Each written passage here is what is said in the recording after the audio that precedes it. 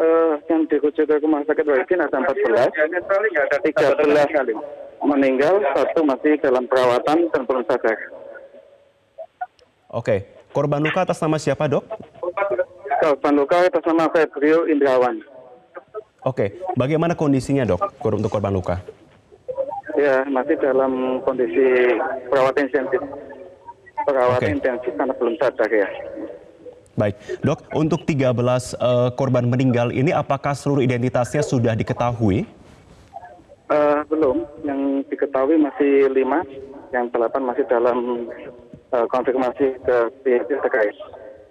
Baik, uh, informasi yang kami dapatkan dari tim di lapangan mengatakan bahwa saat ini uh, juga pihak keluarga sedang dicari, sedang dicari informasinya terkait dengan korban meninggal. Apakah akan ada pos informasi di rumah sakit, dok? Uh, langsung selama ini kita uh, untuk sementara kita langsungkan langsung di lokasi dan ini ada salah satu dari korban keluarga korban yang datang dan sudah kami tunjukkan uh, identitas dan uh, jenazahnya ini hmm. masih dalam uh, pantauan kami di rumah sakit. Baik, untuk 14 orang termasuk jenazah sudah dirujuk berarti rumah sakit ini sisanya untuk 11 orang berarti dirujuk ke mana berarti dok?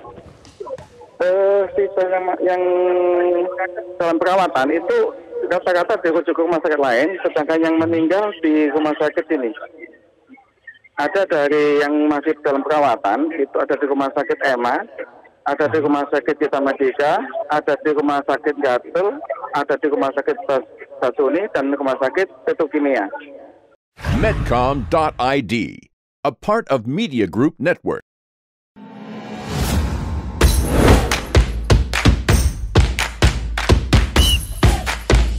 Ayam kalau diaduk-aduk jadi cair. Seriously? Diaduk kayaknya ya.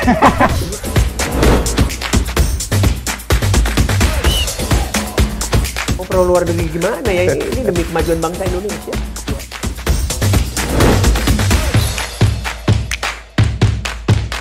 Isu kebangkitan uh, PKI ini uh, dihentikan.